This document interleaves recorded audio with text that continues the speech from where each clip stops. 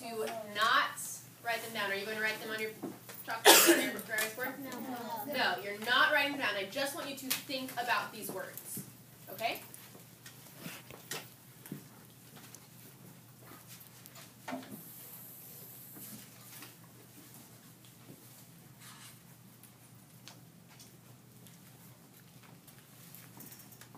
Okay, whisper them to your neighbor. Okay, think about them in your head. Those two words. Think about what you notice about them, what parts of speech you think they are, how you might use them in a sentence. Turn and talk to someone near you and tell them what you're thinking. Okay, Blake, Elizabeth, will you tell us Blake? So you're already thinking of a sentence. I like it.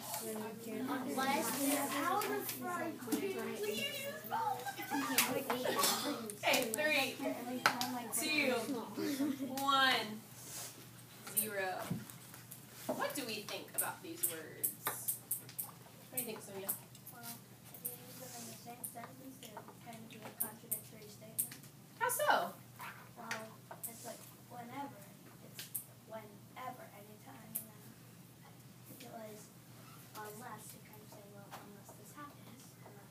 Absolutely. I like how you. I like how you brought in contradictory, which we've been working on in writing with persuasive writing. What else do you notice about these words, Daniel? I know that like whatever it means like you don't really care which way it goes. Mm-hmm.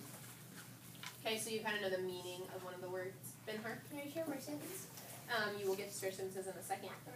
So I want you to turn and talk to that same partner that you just talked to, but and when I'm going to tell you what to talk about, I want you to talk about what part of speech you think these words are. Are they noun, verbs, adjectives, adverbs, conjunctions, prepositions? What are they and why? What do you think?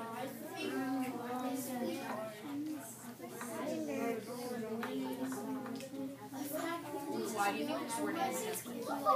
Okay, Yeah, maybe it's coordinating conjunctions, because when and whatever. It has the same word. Three, two, one, zero. I'm gonna do random because we've all talked with partners, so we should be able to answer. Okay. Elizabeth, Um, I think it's a subordinating conjunction why? because like if you look at preface whenever, you can't say like whenever you want. That's not like the sentence by itself. You have to like add something to it. Absolutely. Do you remember what we call those sentences that aren't really sentences by themselves? Can everybody whisper it? You know?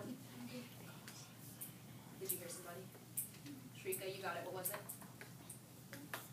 You're still in whisper mode. a dependent clause, right? So it could start a dependent clause. So they are subordinating conjunctions because both of them would begin a dependent clause. They would make the sentence complex. They would provide a transition between two ideas, and like we talked about yesterday, would indicate the time, place, or cause and effect relationship. So what I want you to do, and Benhar is already on my challenge mode. So you're going to write a sentence on your whiteboard using one of these words. If you would like to challenge yourself, you can try to use both. Benhar would like to challenge himself because I heard him thinking about that earlier. So go ahead and write on your whiteboards or on the desk. if you're on the desk. You do not have to write in cursive, but that's a great question to ask. Already have one now.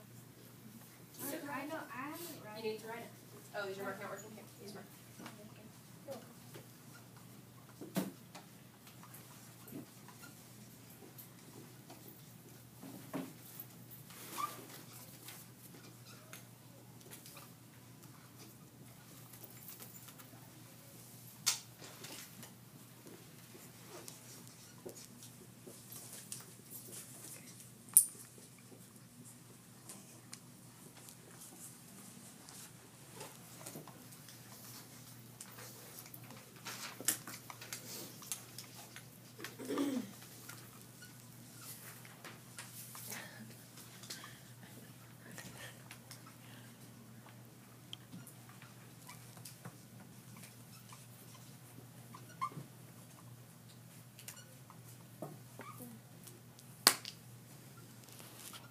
Okay, waiting for the last couple people to finish. You have about 30 more seconds.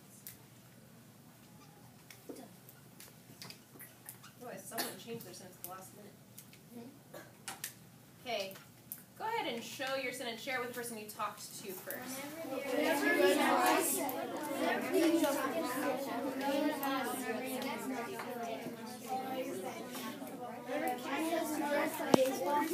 Is there a better word we could use? Unless Because we Should I change mine? Okay. Bernard, love you. Three, two, one, zero. Okay, I'm going to do random a couple times and let's hear a couple sentences. Okay, Tanner. Yay! So I said we can go to the mall whenever unless you have something to do that day. We can go to the mall whenever unless you have something to do that day. I wonder which one is the dependent clause in that sentence. We can go to the mall whenever unless you have something to do that day. Hmm. Which one could we not? What? Unless. Unless you have something to do that day. Exactly, because we can't say that by itself, can we? Okay. So let's see who else we have. Sophia. Okay, you can come over whenever you want unless you have something to do. Very similar sentence, right? Yeah. It's very similar. You guys are on the same page. Oh, so okay. we thought, oh, maybe this We talked about it when we first talked about the words, and so then you kind of had similar ideas. Okay, let's do one more. And Abby. Um, whenever a wolf hunts, he hunts for rabbits or deer unless there are no rabbits. I should have known that you would do a sentence with a wolf. So will you repeat that for me? Whenever a wolf hunts, he hunts for rabbits or deer unless there are no rabbits. Okay. So whenever a wolf hunts, he hunts for rabbits. And I think that's a solid sentence by itself, right? Or deer, unless there are no rabbits. Awesome. So I'm going to write down. Bobby's on the board real quick since he's the last one. So you keep your sentence on your board. Whenever a wolf hunts, he hunts for rabbits. And I heard Avi pause at a certain point in his sentence. So I think there might be a comma in that sentence. Does anybody have an idea of where the comma might be in that sentence? Blake? Um, right after, or, right, right rabbits, whenever he would say unless. Right, but I'm just doing the first part of the sentence because I said there'd be a solid sentence. So in this sentence you see on the board, was there a pause, you think?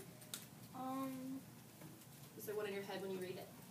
no, not really. No? Okay, let's see. Chris? Uh, after hunts. Why do you think after hunts, Because Chris? it's like whenever a wolf hunts, he hunts for rabbits. So you naturally do that pause in your head until you want that comma there.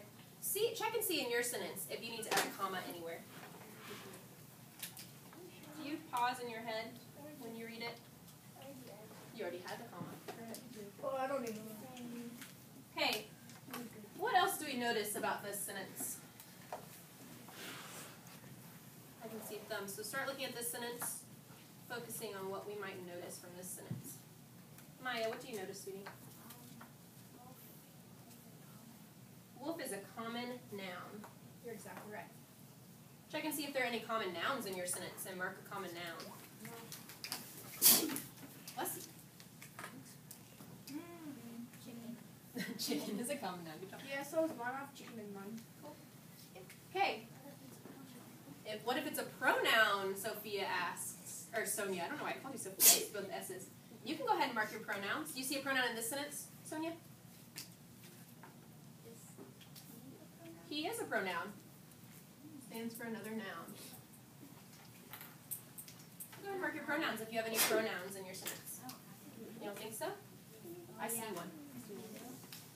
That's a common noun, I see a pronoun too. Find it? You found it. Good job. Okay, what else do we notice about this sentence? Shrika? Um, would hunt be an action word? Hunts is an action verb. What made what made you think that it was an action verb? Because um, hunting is a when a wolf um, hunting is um is something you do like Exactly. Right, something you do. That involves action. Absolutely. See if you have any action verbs in your sentence and mark it down. yeah.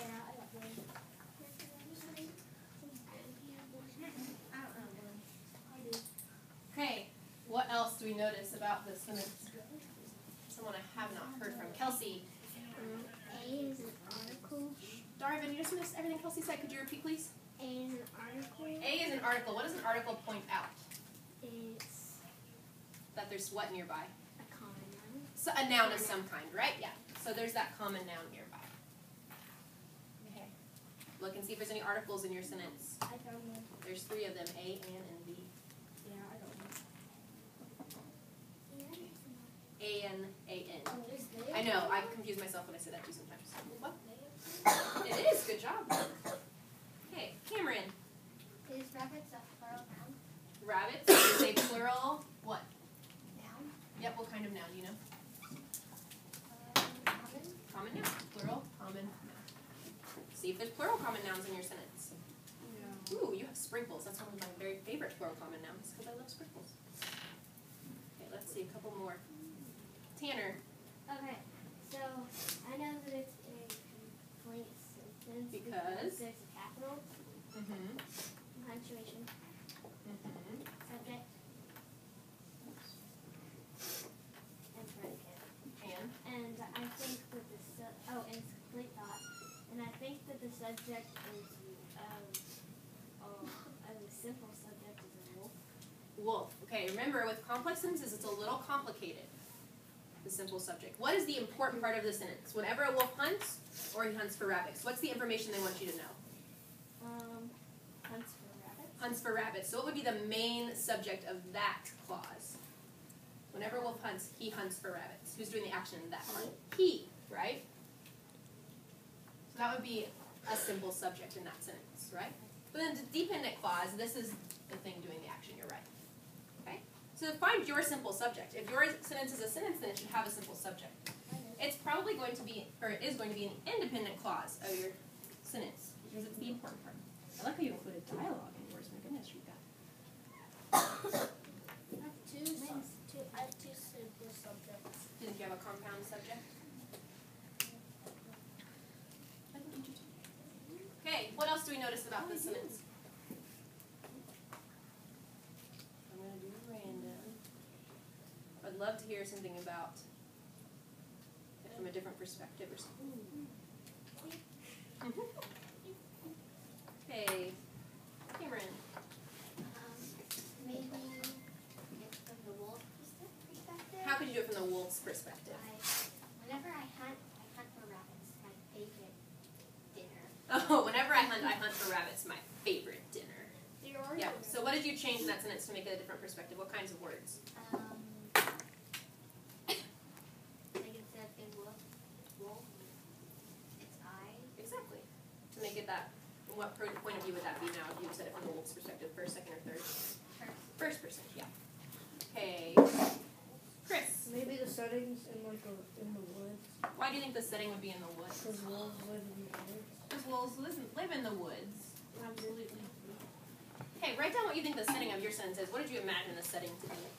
I don't know. You know yours very well. Yours. What are you at a certain restaurant in this? Uh, probably a restaurant or a Or, or a home? You won't go there if there's chicken. I understand.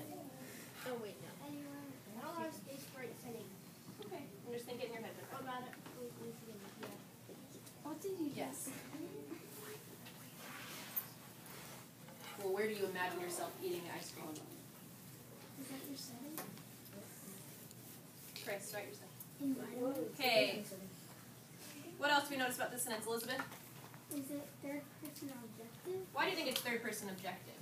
Because it says he, and then that's third person, and then um, subjective because it doesn't have any thoughts or feelings. It doesn't have thoughts or feelings. Kelsey is agree, agreeing emphatically. Yes, it doesn't have thoughts or feelings, so it's objective and it's third person because it's saying he and not I, right? Okay, so I want you. We'll do one more person. Jackson, go for it. Is it called to say that?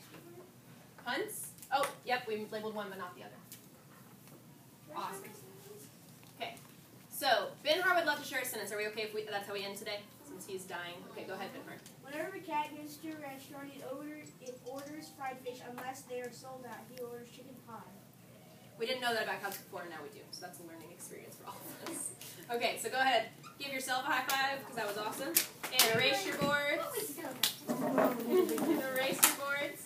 Make sure they go back in the right place, nice and neat. Markers go up, nice and neat, and go back to your seats, and we'll get ready for writing.